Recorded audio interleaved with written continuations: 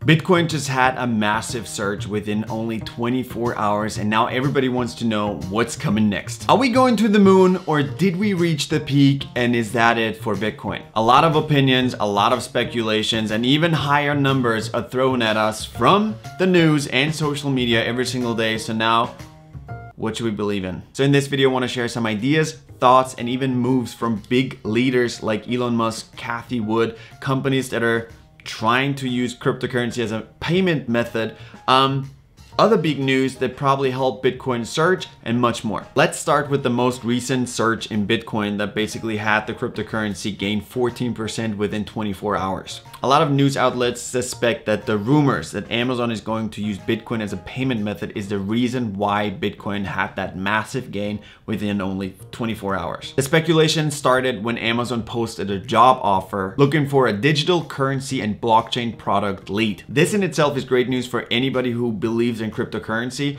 because if Amazon officially announces that they are using cryptocurrency as a payment method, I think this will legitimize Bitcoin even more and more companies will be willing to just use cryptocurrency in general as a payment method. As of right now, there are no official statements that Amazon is going to actually use Bitcoin as a payment method, but an Amazon spokesperson told Yahoo Finance the following. We believe the future will be built on new technologies that enable modern, fast, and inexpensive payments and hope to bring that future to Amazon customers as soon as possible. Sounds promising to me, but still nothing is set in stone yet. More positive news for Bitcoin came from Elon Musk, who said that Tesla still owns 90% of the original Bitcoin that they purchased. That means they haven't sold a single one after that one specific 10% sell earlier this year. He also mentioned that SpaceX and even he himself owns Bitcoin and other cryptocurrencies. I think the fact that one of the richest people in the world owns cryptocurrency is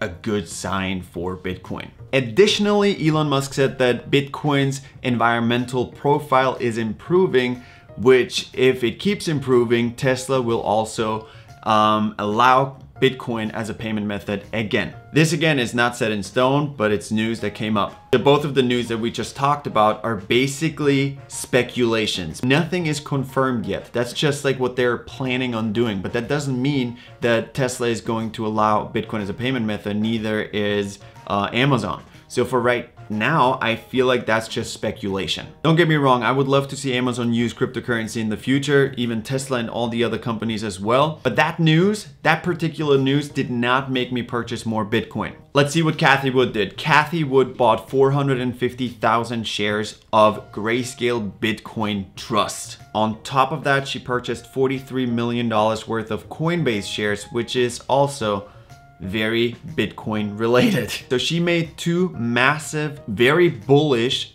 purchases on different companies that are related with Bitcoin. So obviously she believes in Bitcoin and cryptocurrency in general, because otherwise why would she make that purchase? I could be completely wrong, but that's just my interpretation. So all of the stuff that we were talking about right now happened pretty much at the same time, which could be the reason why Bitcoin gained 14% in just one day. I'm pretty sure we also had a bunch of people just buy the news and sell like a couple hours later and they made a good amount of profit. If you're one of them, congratulations.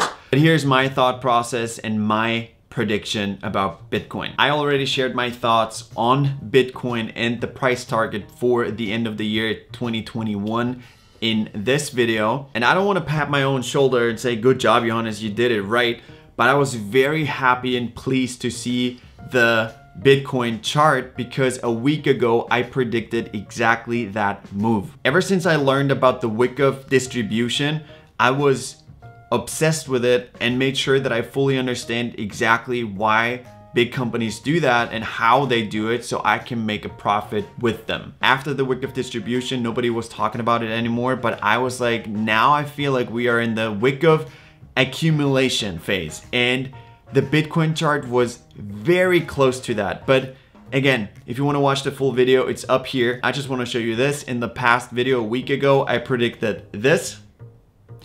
And this is what the Bitcoin chart looks like right now. Obviously, this gets me really excited because I did my homework and it actually paid off. But at this point, I also want to say that I'm not a financial advisor and this could be complete bullshit what I'm talking right now and a massive coincidence. So do your own research before you put any money in cryptocurrency, in the stock market or anything else. This video is just for entertainment purposes only. My current stance on Bitcoin and its price target above 100,000 by the end of the year 2021 hasn't changed a bit. And I still believe that a lot more companies will announce uh, the adoption of cryptocurrency within the next couple of years. I know a lot of you are probably waiting for me to say a very specific number where I believe Bitcoin will end, but honestly, I don't know.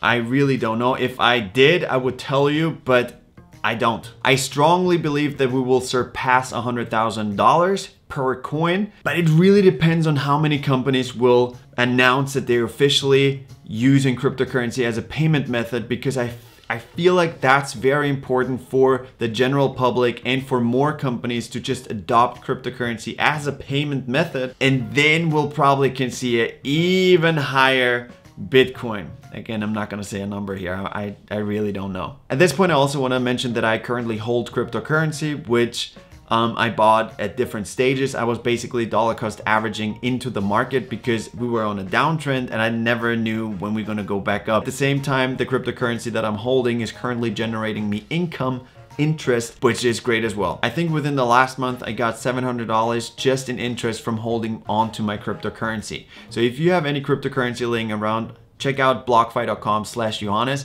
because if you sign up and put your cryptocurrency to work, you can get up to $250. Before I go, if you like this video, can you please help me out with the YouTube algorithm and just leave a like and maybe if you're generous, comment on it as well. This will help me out tremendously. Thank you so much for watching. I'll see you next time.